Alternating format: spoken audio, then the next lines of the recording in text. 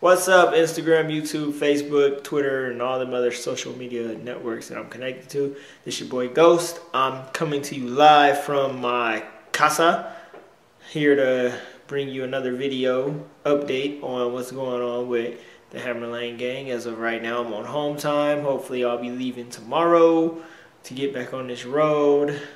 I have a whole bunch of videos in store. As of right now, I'm an owner operator. I had to leave FedEx ground because, you know, the owner operator world was calling me, pulling teams and doubles. I mean, it was cool, but I had to step out there with the big boys. So stay tuned. I'm bringing y'all some very, very interesting footage. I've learned a whole lot about being an owner operator. It's very costly, very costly, but I'm going to bring you guys into the lifestyle of the owner operator. So, I mean, at the end of the day, I hope you guys like the videos coming up.